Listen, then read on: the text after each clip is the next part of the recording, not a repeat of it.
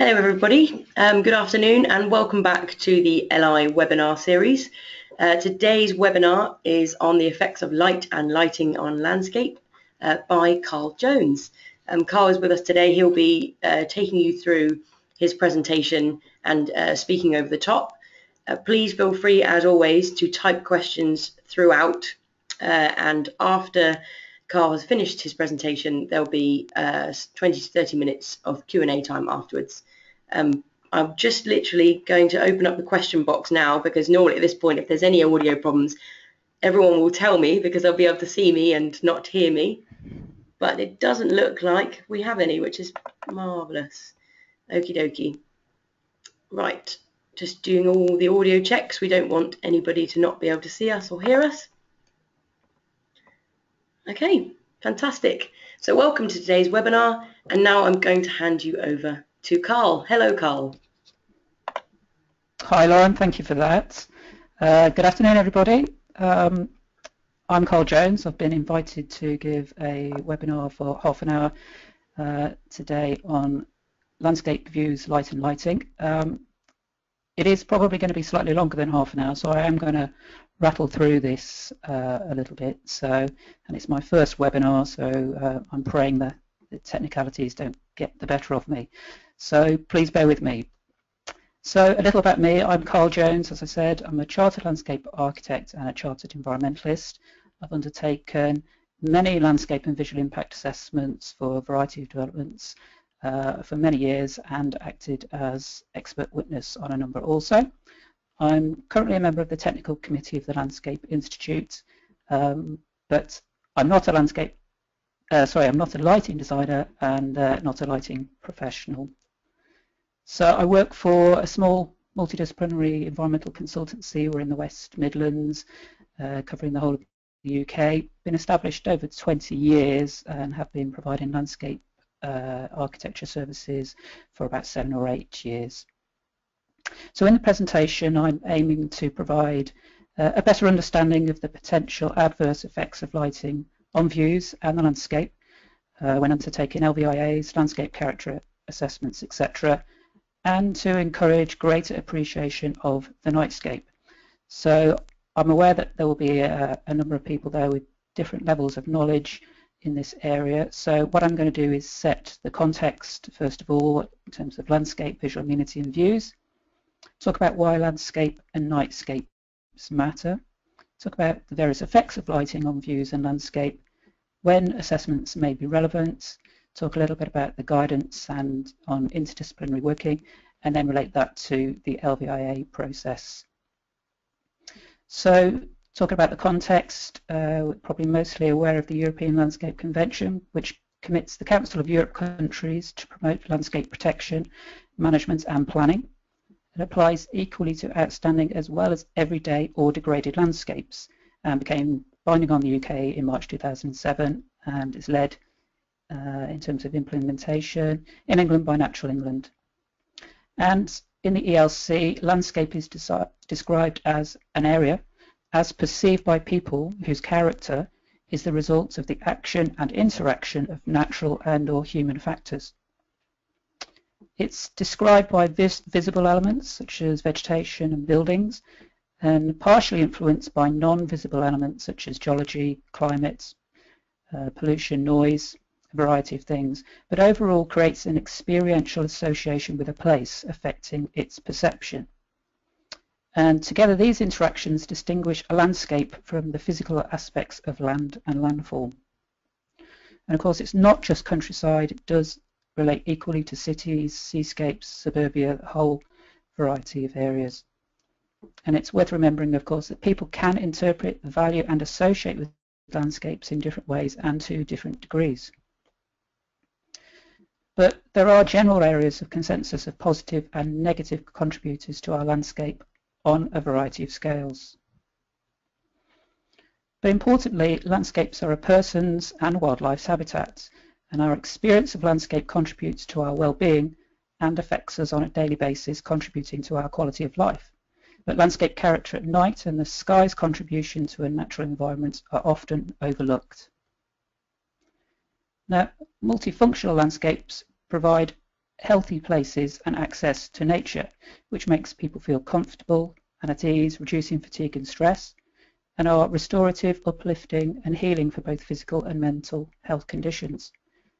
And of course, lighting can have direct effects and also indirect effects on health, such as light spill leading to wasted energy, which might lead to increased energy consumption, increased emissions, and potentially air pollution, and knock-on health effects.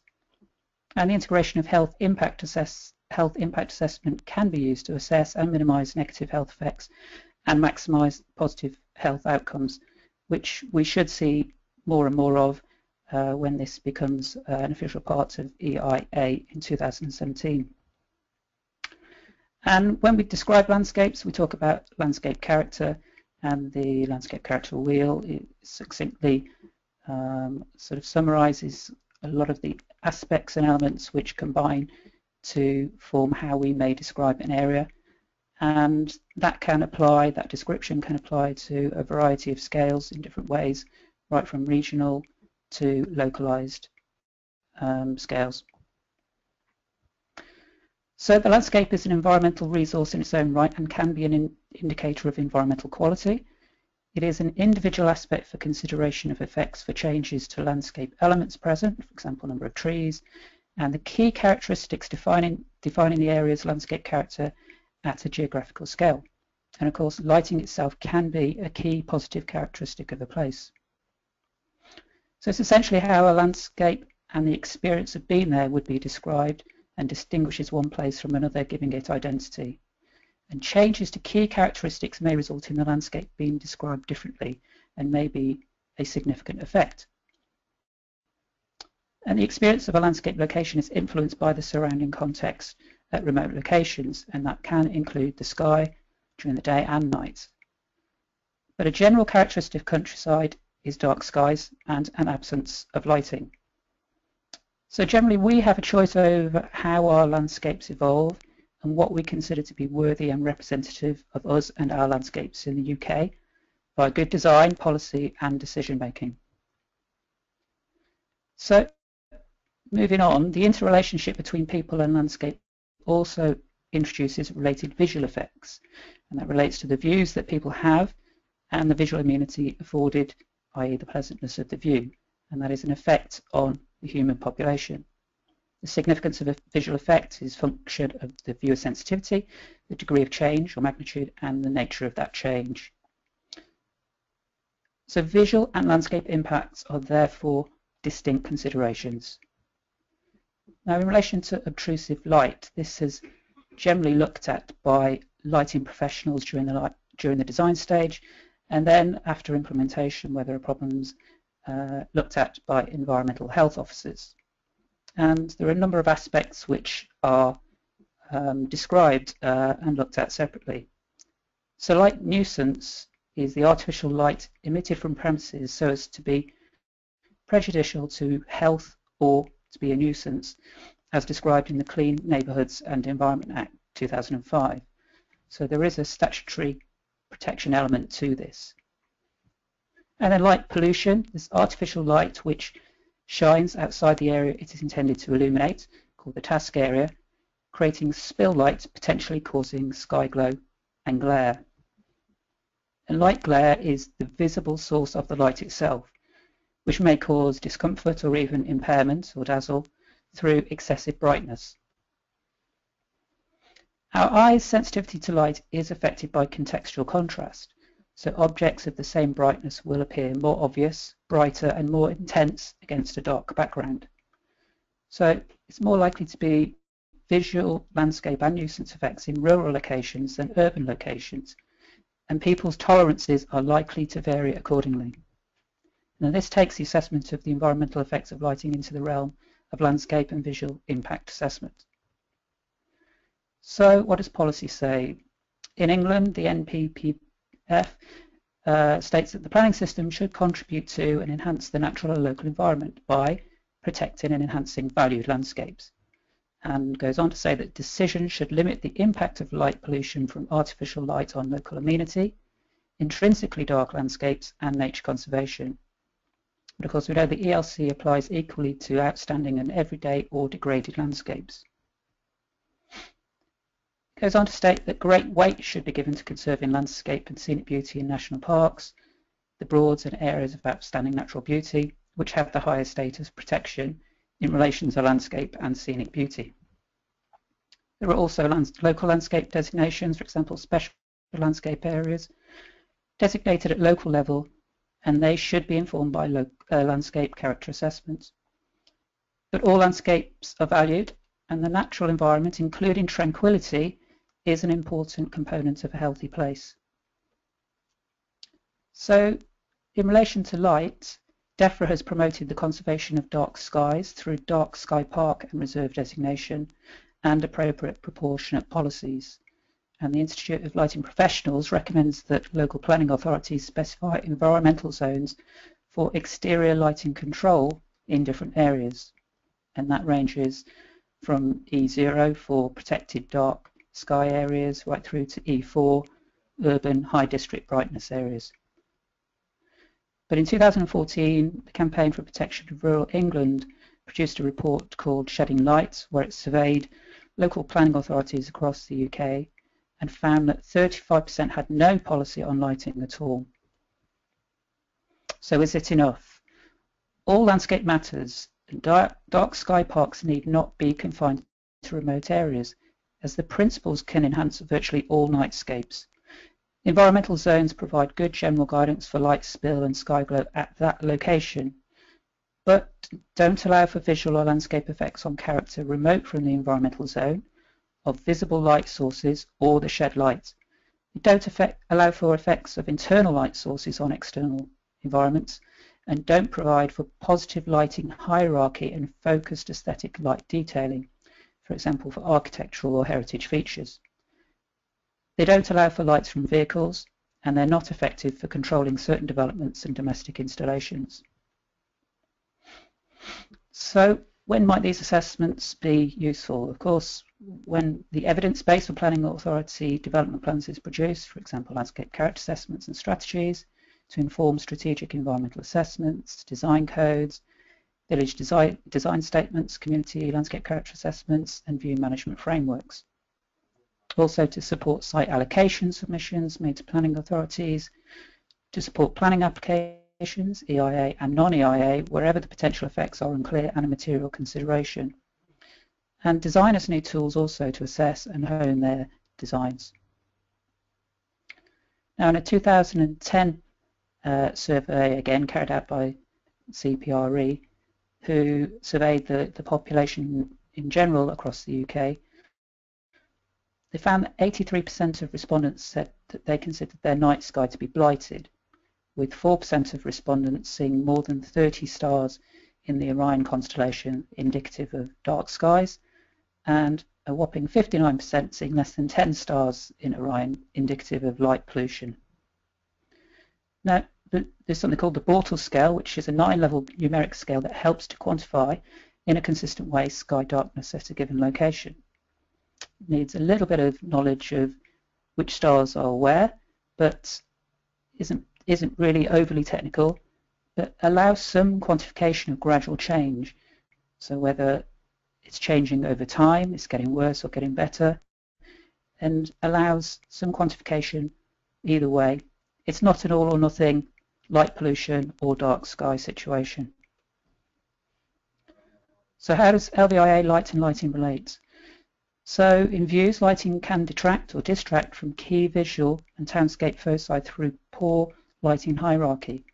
So in this view, for example, one might expect the dome at St Paul's Cathedral to be the most prominently lit um, aspect in the view, but in fact is overshadowed somewhat by some of the brighter lights, uh, including Blackfriars Station. Interior lights, often overlooked, uh, with modern houses and structures containing more glass, the exterior effects of internal lighting um, can be significant.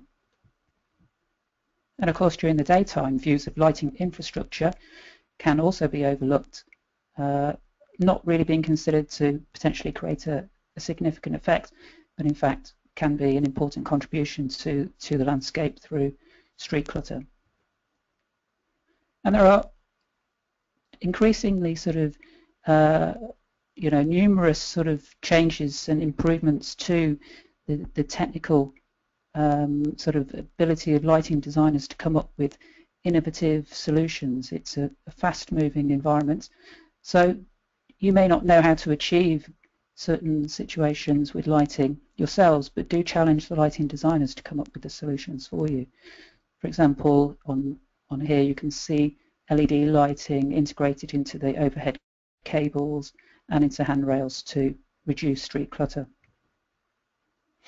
There are other aspects which may need to be considered as well, such as reflected light, glint and glare, plus effects on visual amenity, and of course reflection from materials, um, which may create sky glow also, such as from water or even uh, grass and other surfaces. Interrupted light or movement of light also does attract attention and distraction in views and can be an important aspect to consider also. So why assess and why protect?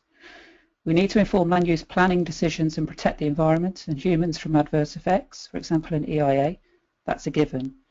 But LVIA goes hand in hand with good design and placemaking and good lighting has a positive role to play in defining a place, providing fresh perspectives as has been demonstrated recently at the Night of Heritage Light events, providing multifunctional spaces for the 24-hour economy. But good lighting design that meets everyone's requirements is not easy.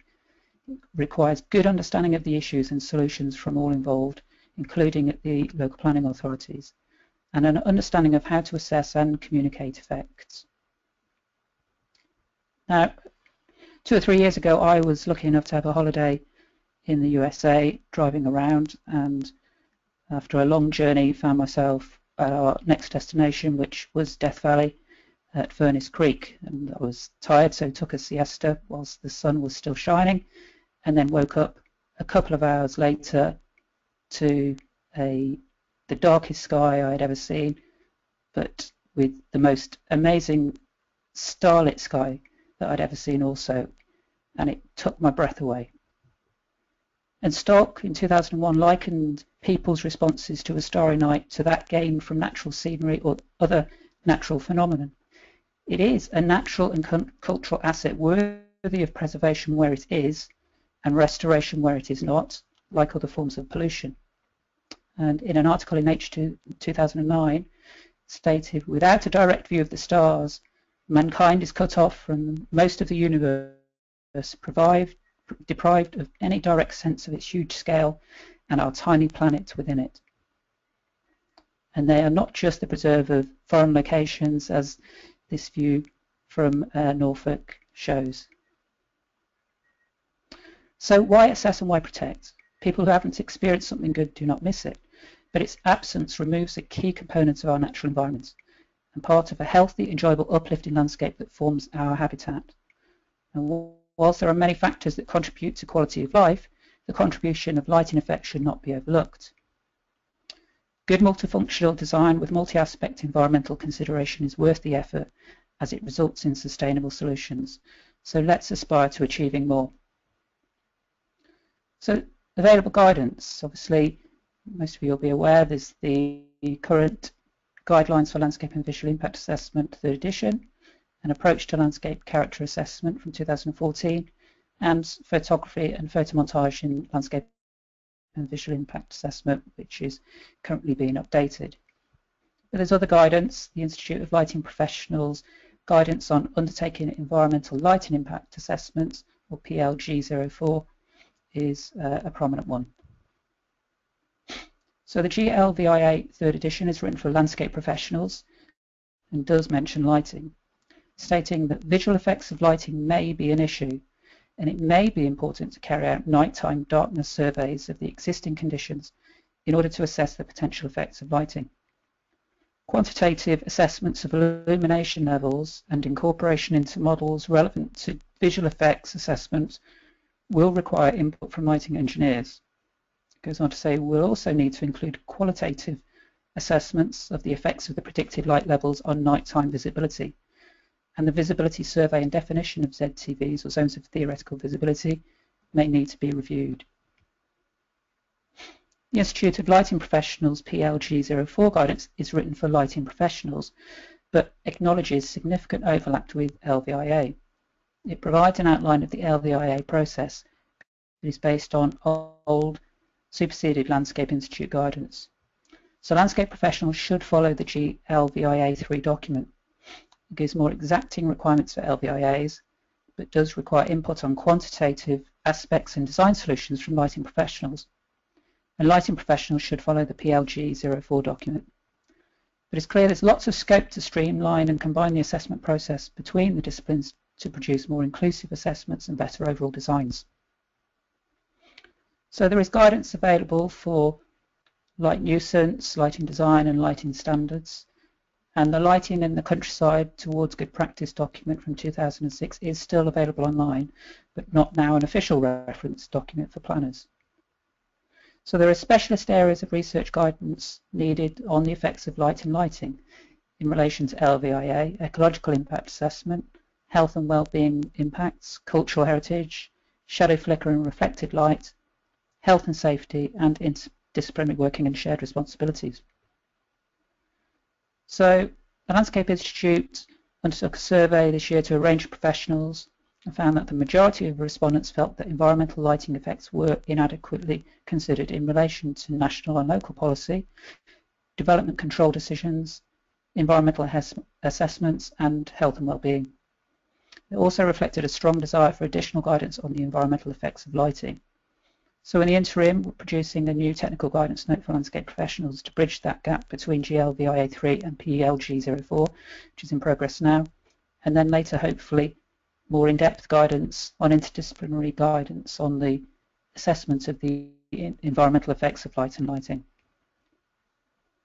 So in relation to the LVIA process, there's outline of the, the general process which is followed, obviously looking at desk and field studies, looking at the opportunities, constraints and alternatives, and coming up with an outline design as the start point.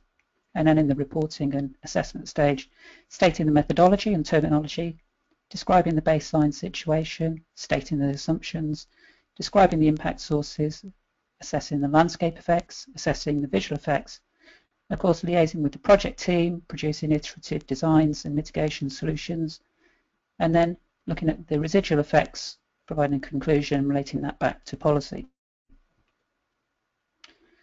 So the correct use of terminology is important in this process, especially with increasing interdisciplinary working as it, as it is easy even for professionals to get confused. There's a number listed there. Now in relation to landscape value, the desirability of landscape characteristics and the acceptability of their loss to different stakeholders, i.e. valued for different reasons by different people and on different scales, for example local or national. In combination with landscape susceptibility, i.e. how susceptible the landscape characteristics are to specific changes, contributes to our understanding of landscape sensitivity. Now, this has many contributing elements, including scenic beauty, tranquility, cultural associations, and a sky full of stars has inspired poets, songwriters, and artists for generations. It is a cultural aspect of a locality. And dark skies provide important contributions to tranquility. Now, tranquility is often described as the subjective experience from being at a location that provides individuals with the space and conditions to relax, achieve mental balance, and a sense of distance from stress. And tranquil areas are often associated with quiet, remote, or appearing remote, natural, non-developed, and non-busy areas. And the CPRE has uh, online mapping available to help judge um, the relative tranquility across England. It's an increasingly valuable and elusive resource that promotes me mental well-being. It's highly valued and a desirable characteristic. And in 2008, a CPRE survey established that the most valued quality of countryside is tranquility.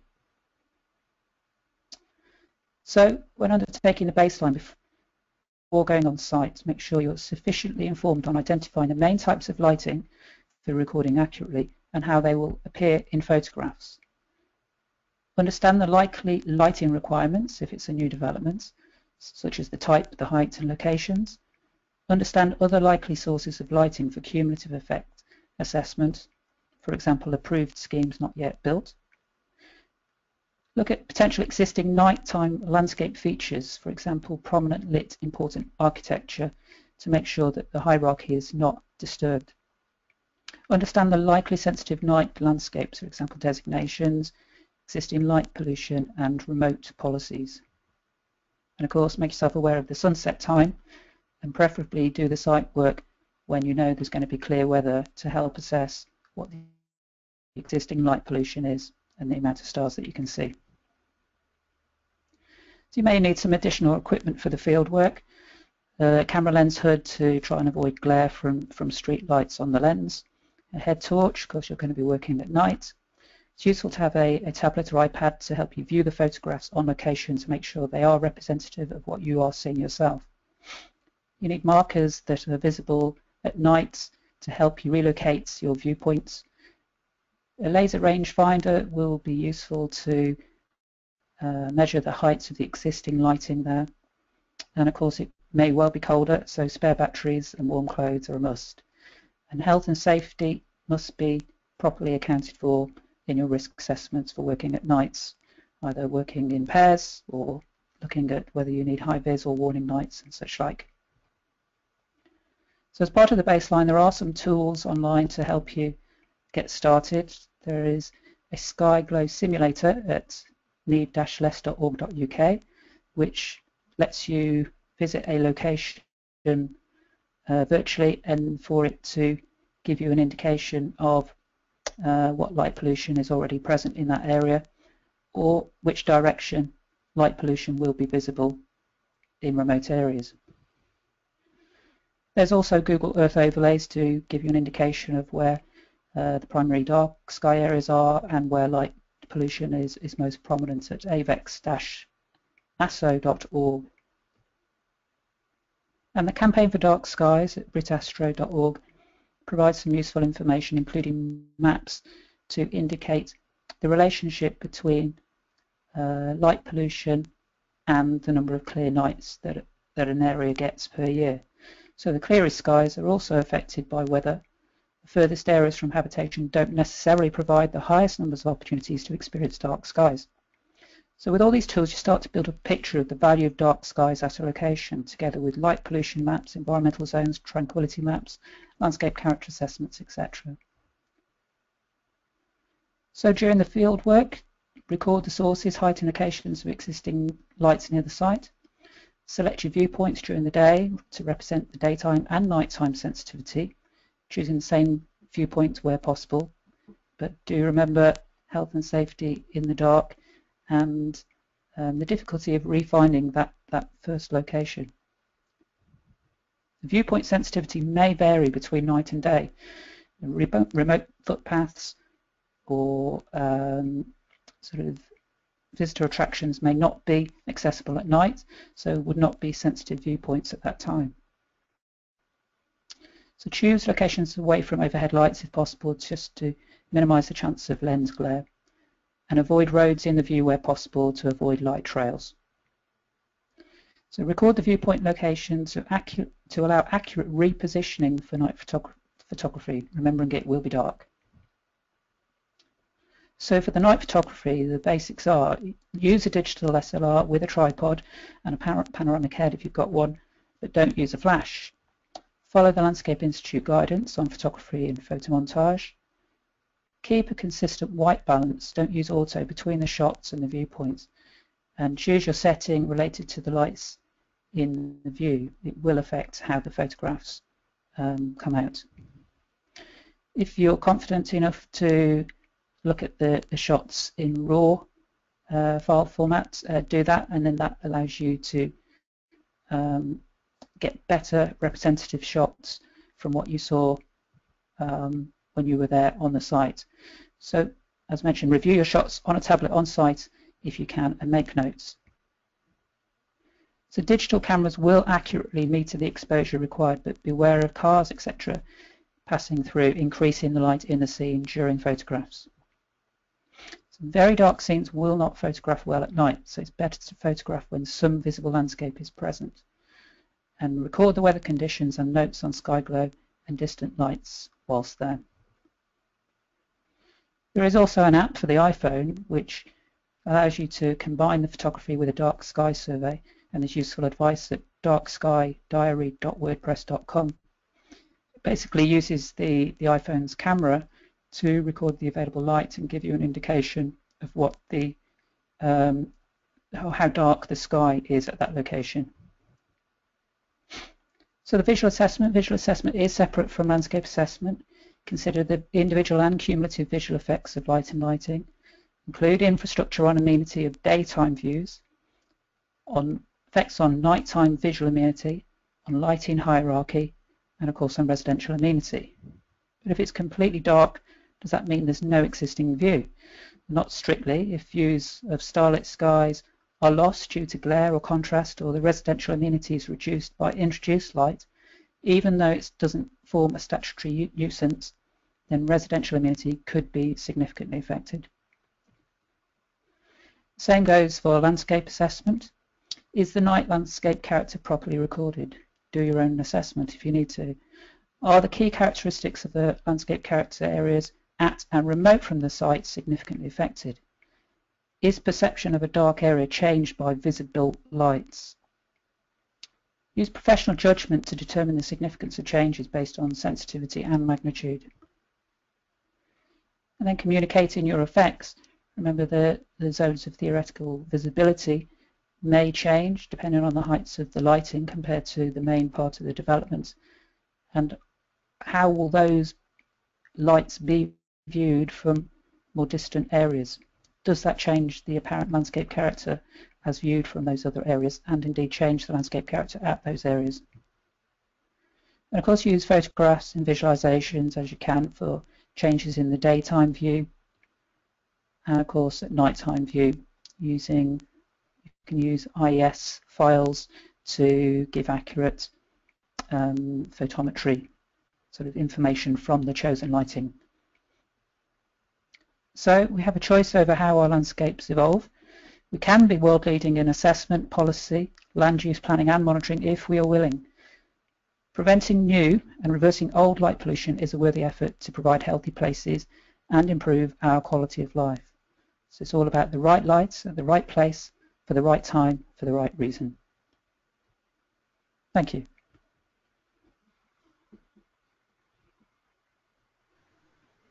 Hi there. Thanks, Karl, for that. That was fascinating. I've certainly learned a lot. Um, not that I'm the expert, but um, I'm just having a look here.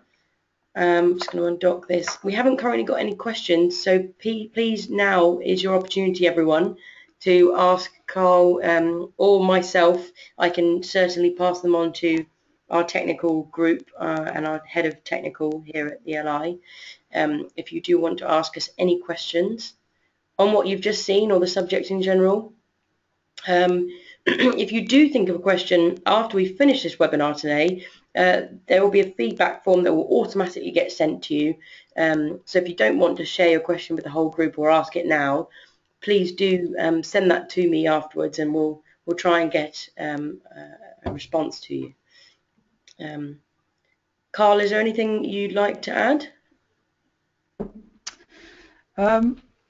I think just to make the point really that this this was uh, a bit of an introduction for uh, the subject more than trying to tell you exactly how to do a landscape visual impact assessment. It is a relatively new area. People are people are developing methodologies all the time. So um, the idea is to get an interim technical guidance note out as, as soon as time allows really just to start helping people and then build on that uh, into the future.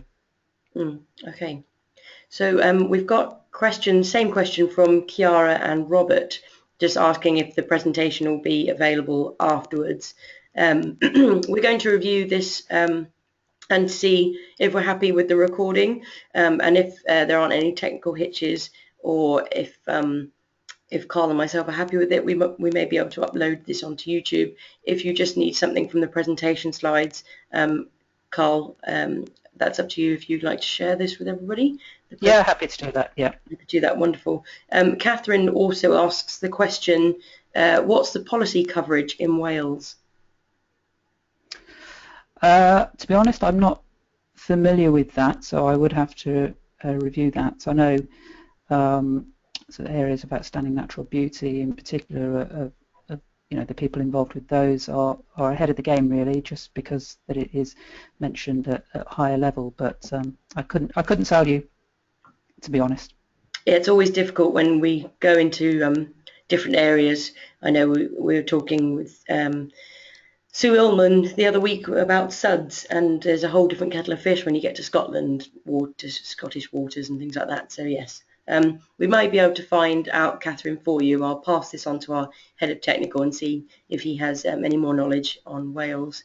Um, Simon asks, um, Hi Karl, having never done a nightmare darkness survey, is that a component part of the GL, uh, GVLA to be done by the LA?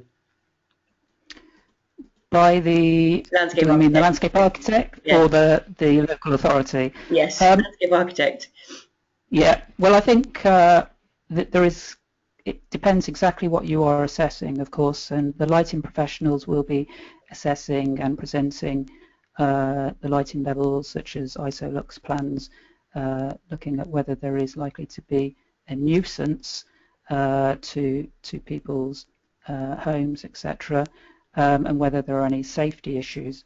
But landscape architects are of course looking at whether the lighting is achieving what it was set out to do. It may not just be functional, it may have aesthetic reasons as well, but it will have knock-on effects for uh, the landscape and potentially for, for visual amenity and in views, which won't be looked at by lighting professionals specifically, and they won't have the same level of training or understanding as landscape architects do in that area. Of course, there are other effects uh, on lighting, from lighting as well, such as on ecology, um, for example, which um, again is, is going to be in the in the sort of um, area for ecologists to look at, but they won't have the, the lighting knowledge either. So this is why we've mentioned about interdisciplinary working really. It's providing um, input from the right experts into the right areas. Every scheme, or not every scheme, will require an assessment because it's up for, for you and the planning authorities to decide what is likely or should be considered at, at a planning application stage. But the principles really should just be carried through and, and even if an assessment isn't required, the general principles of what to consider when designing the lighting um, will, will make a big difference. Hmm, absolutely. Okay, um, I can't see any more questions that have come through at this point. Um, so, oh, Simon says thank you, Karl. Um, Great. So please do uh, feel free to send them afterwards uh, on the feedback form. Um, and otherwise, oh, oh, thank you also from Robert. All, all very, very kind bunch. oh, Chris, for you. Um, lighting designs are often not sufficiently developed at the point where we are undertaking our assessments. So how do you overcome this? Yeah, it is a big problem. Of course, people or developers don't really want to be offering this kind of information until they, they really have to, and and normally not before the planning application stage, and, unless, for example, there is an obvious potential problem. For example, if there is a policy in place um, in the local development plan which specifically requires um, uh, lighting to be looked at. So it really does need a bit of teamwork really from uh, everybody such that you know that the people at the, the planning authorities are sufficiently aware of the potential issues and and to deal with those potential issues in a proportionate way for landscape architects to um, help promote good design and minimizing of environmental effects. If that is uh, sort of advocated as being dealt with at an earlier stage as possible, then the, the, main benefit there is, of course, is that it may save um, the developer time if, if it suddenly becomes a, uh, an issue late in the day. So I think it, it is a problem, and I think it is going to take some time for, for these issues to become the norm, but um, I think if, if everybody is raising these as potential issues or at least considerations as early in the, the, the design and assessment process um, as early as possible, then, then this, this hopefully should be less of a problem moving forward. I'm not saying it will, will ever disappear. You, of course, in the LVIAs, you will have to make some assumptions, and if you consider that there is the potential for significant effects, if they are not providing you with um, more definitive type of information, you will need to try and agree some assumptions with them so that you can base your assessment on. Okay, wonderful. Um, yeah, we've had another question from Catherine, but I've answered that privately just about the presentation slides again. Um, so we are a bit ahead of time, so we do have a bit, a few more minutes if anybody does want to ask a question. So, um, it obviously means you've covered everything perfectly, Karl. That's good. Some topics evoke more uh, debate than others, don't they? Um, oh, Tim asks the question, is there any guidance yet on impacts on ecology? Um, not in a, a, comprehensive sort of way. There, it's it's all coming together now, really. I think, um, for example, uh, Mike Oxford is is looking at um, the effects in relation to bats in more detail with British standards, um, and there there is a lot of research being done out there in relation to to insects and birds, um, but it's not being compiled, and this is one of the aims really of, of pulling together the, the interdisciplinary guidance that I, that I discussed because um, because of that lack of uh, a one uh, stop place to go to for this information. So we're hoping over the, the next year or so that that will improve um, significantly. But um, I, I, don't think there's only one place at the moment that you can go to to get that information. Okay, thank you. Nikki asks, Lighting assessments from engineers are usually very technical. Is there any guidance or training help uh, to help LPA officers understand them and assess impacts of development? Yeah, well, I think the, the PLG04 document that I referred to from the Institute of Lighting Professionals is um, a good start point. Um, they do look technical, but I, I think that document will um, give you a good start point. Uh, the building research establishment do do training courses on this, and I've attended one in the past myself, which isn't too technical, um, but it's the right sort of level for you to um, to, to learn a lot while, whilst not going in too deep. So I would look out for, for those training training courses there. I think one of the problems is that there is so much guidance out there and a lot of it is very technical. It's a little bit overwhelming. So again, it's a it's another reason really why I'm very keen to, to push forward um, this this new guidance um, as quickly as possible to, to make it as accessible to as, as, as many different people who, who will be contributing to, to the assessments and the designs as possible. Karl, could you just repeat the name of the um, document again for Nikki? Sure. It is called well, its its technical number is PLG04, and it's by the Institute of Lighting Professionals. Unfortunately, it's not a massive document, but it's it's not a it's not a cheap document either. Um, I think it's about 70 or 80 pounds. I'm just looking for the exact title now. Bear with me.